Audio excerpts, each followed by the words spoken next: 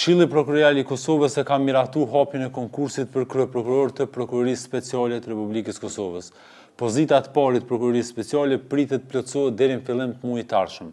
Prokuroria Speciale e Republikës së Kosovës i ka katër departamente. Departamenti për Krime Lufte, Departamenti për Krim të Organizuar, Departamenti për Terrorizëm, si dhe Departamenti për Korrupsion dhe Krim Financiar. Prokuroria Speciale e Republikës së Kosovës ka kryeprokurorin dhe gjashtëmbëdhjetë prokurorë. Emrat që deri më tani dihen që janë në garë për kryeprokuror të Prokurorisë Speciale janë, Blerim Isufaj, Atdhe Dema, Valdet Gashi dhe Naim Abazi. Le t'i shohim shkarazi se kush janë këta prokurorë specialë që konkurrojnë njëri-tjetrin. Blerim Isufaj aktualisht e ushtron pozitën e të parit të Prokurorisë Speciale, Por para kësaj pozite kishte ushtruar edhe disa pozita të rëndësishme të tjera.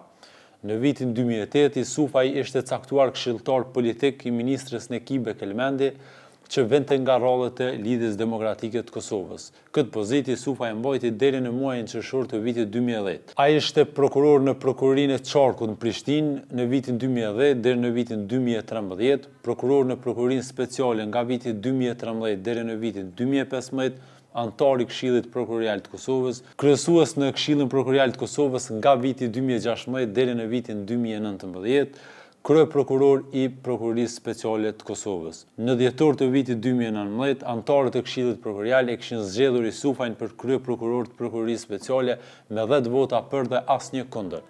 Ai gjithashtu është votuar nga Këshilli për Kryeprokuror të Shtetit, por që nuk po dekretohet nga presidentja Vjosa Osmani. Kandidati i dytë Atdhe Dema. Atdhe Dema gjithashtu është kandidat për Kryeprokuror të Speciales, ka qenë prokuror i rastit të njohur si afera hidrocentraleve. Në këtë rast Gjykata Themelore në Prishtinë i ka liruar nga akuzat katër ish-ministrat e qeverisë Thaçi dy, Mimoza Kusari Lila, Nenad Rashiq, Besim Beqa, Dardan Gashi, si dhe Fllanza Hoxha e Arben Gjuka të cilët akuzoheshin nga Prokuroria Speciale, pra nga prokurori Atdhe Dema, për korrupsion në rastin e njohur si afera e hidrocentraleve.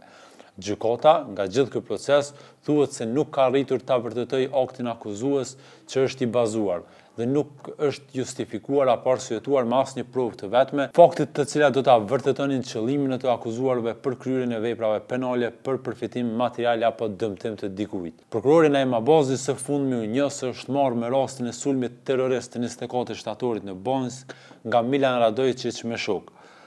Valdet Gashi, Prokurori Valdet Gashi, në rastin më të njohur me të cilin ka udhëheq, ka qenë keqpërdorimi me rezervat shtetërore që doli pas përgjimeve të Gazetës Nacionale. Ai gjithashtu, ka hetuar rastin e njohur si afera e pesëdhjetë e tre milionshit, në të cilën Pal Lekaj në kohën sa ishte ministër i Infrastrukturës i kishte dhënë kompanisë Bechtel Enka. Pozita e kryeprokurorit të Prokurorisë Speciale është jashtëzakonisht e rëndësishme për sistemin e drejtësisë marrë parasysh kompetencat që ka kjo prokurori. Se kush do ta fitojë këtë garë që të bëhet edhe krye, edhe prokuror, edhe special mbetet të shihet.